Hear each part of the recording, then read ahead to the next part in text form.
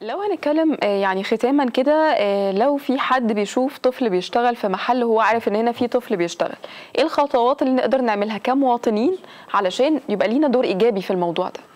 تمام. ال- الأول قانون الطفل المصري آه، حدد لأي مواطن إذا وجد طفل في حالة من حالات التعدي أو الاحتياج للحماية عليه فورا الإبلاغ. عنده بقى؟ الإبلاغ إزاي بقى؟ آه. عنده آه، خط نجدة الطفل 16000 واحد ستة تلات أصفار خط مجاني.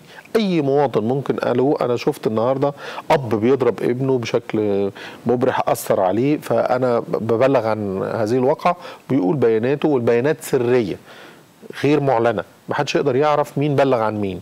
تمام. فالمواطن النهارده يقدر يتصل ب 16000 سهلة جدا يقدر ينتقل لأي قسم شرطة يثبت أي الحالة. أنا بتكلم فيه أكتر من وسيلة يقدر يتصل بإدارة التفتيش في وزارة القوى العاملة لو بنتكلم بقى على عمل الأطفال. يقدر يتصل بإدارة التفتيش وعندهم خط ساخن موجود نقدر نجيبه من على الإنترنت في أي وقت. ده هنا بنتكلم على إدارة التفتيش دي لو وجد الطفل في ورشة من الورش بيشتغل بشكل وإحنا بنشوف ده بشكل يومي. بنشوف قد إيه الطفل بت- صحيح. لتعدي ضرب وإهانة و... و... وطبعا ألفاظ يعني شرسة جدا مفترض الطفل ما يسمعهاش ابدا.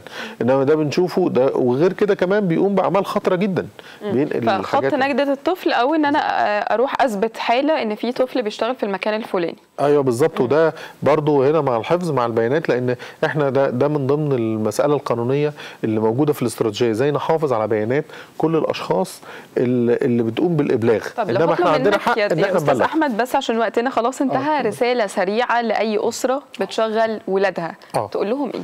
أأكد على أن عمل الطفل هو بينهي حياة هذا المواطن في المستقبل إن هم بيضروا أبنائهم بشكل كبير جدا وإن إن وجود الطفل في الحياة أهم بكتير جدا من المبالغ النقدية اللي هو بي بيستردها.